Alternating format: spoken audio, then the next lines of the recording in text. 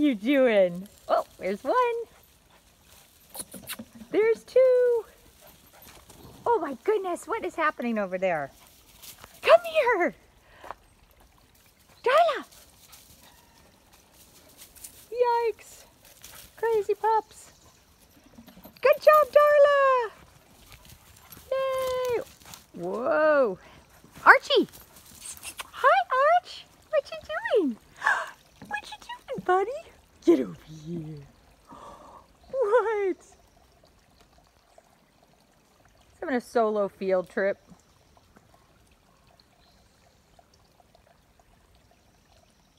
I'd want to stay out there too.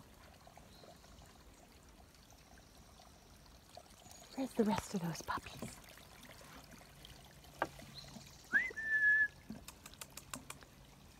There they are! Yikes!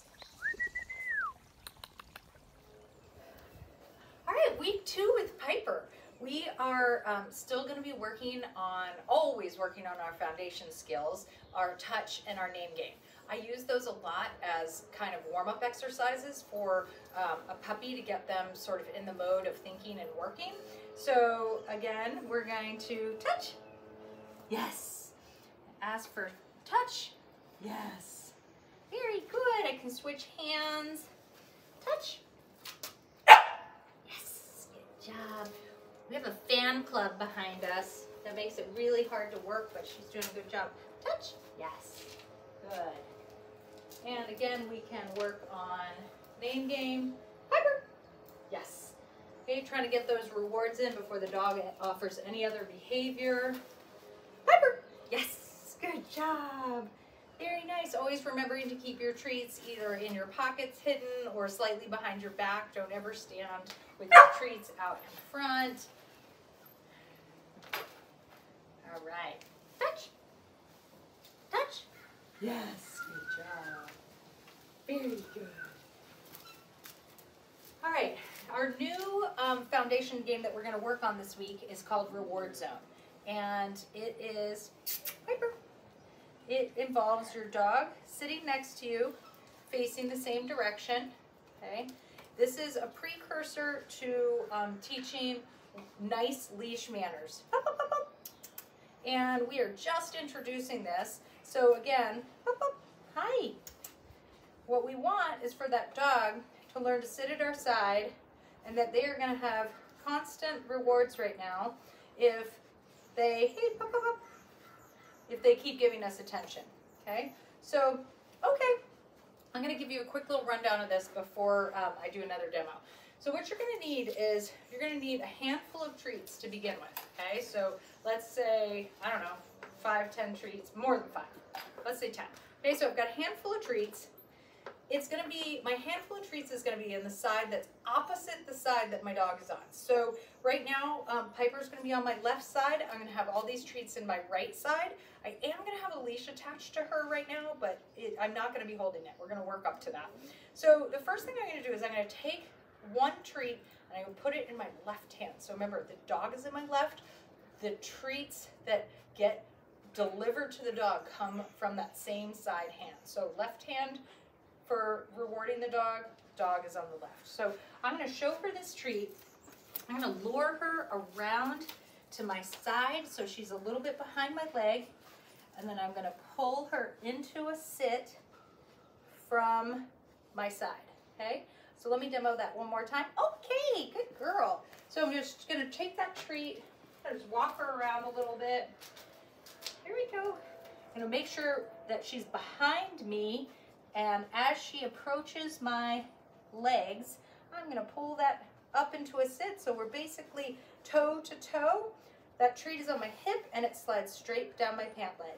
And I reload from that handful that's in my right hand. Okay?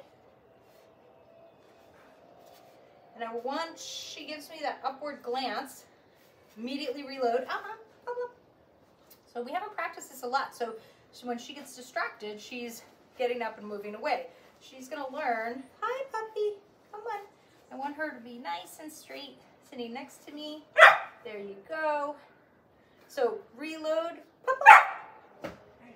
Treats come right from my hip straight down my pant leg. Hey, Right here. Good girl. I want to try to deliver five treats in a row. Piper. Yes. Okay, more than five treats in a row right now. What I'm trying to accomplish in Reward Zone is to get the dog to learn to be at my side and give me eye contact. We do this in a stationary manner enough times that the dog starts to understand that when I start moving and adding walking to this, the, the skill is exactly the same thing. She's walking next to me, giving me eye contact, then kind of glancing around, giving me eye contact, but she's learned that this space is really good. This is the place where I want to be when I'm walking, okay? Piper, yes! Over here, girl. Good job. Okay, let's get back in this spot. Okay, sit. Very good. Okay, I'm holding the leash now. I'm holding that leash in the same, uh-uh. Hi. So hard. So here's the scoop. Okay. You need to practice this. I mean, this clearly is really high level of distraction because I've got all the puppies around. Um, you need to practice this in an area where there's nothing else going on. In your living room, in your kitchen, wherever it can be where the distraction level is really low and the dog has nothing else to pay attention to. And remember, we're not adding walking to this right now. This is simply a stationary exercise.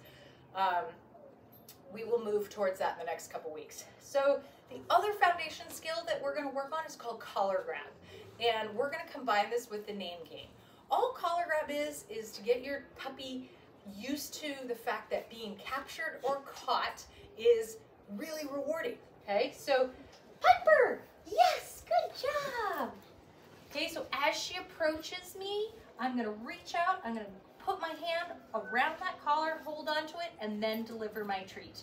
Okay, so I wanna do this a bunch of times without name game, where all I'm doing is maybe just, hey, gotcha, could add a little cue like gotcha, but I don't usually. I just kind of come in, grab, give a little tug, reward the dog. So treats stay hidden until my hand is on the collar. Touch. Oops, I said touch. This isn't touch. Here we go. We're just pulling a little tug tug. Okay, eventually what should happen is when I put pressure, there you go, when I put pressure on her collar to towards me, she wants to move in.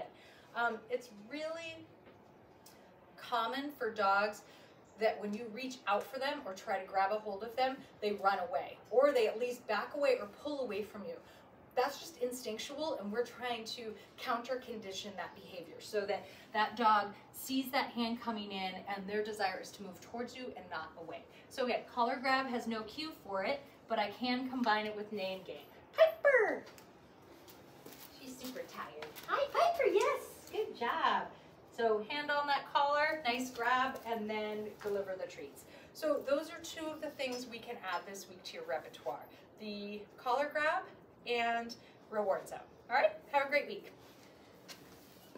Okay, okay, we're done.